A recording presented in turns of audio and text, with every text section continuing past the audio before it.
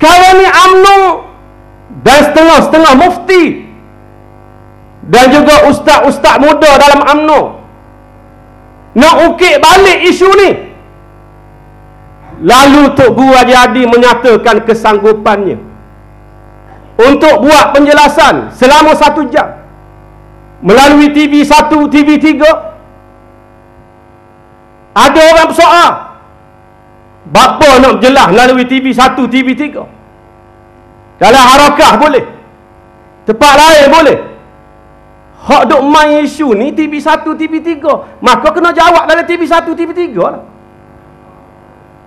Kalau TV 1, TV 3 tak berani Nak bagi peluang kata Raja Hadi untuk beri penjelasan Dia jangan main isu ni. Kalau kita tak berani nak gocoh dengan orang, kita jangan tunjuk kedai beb gocoh. Sore orang panggil gila.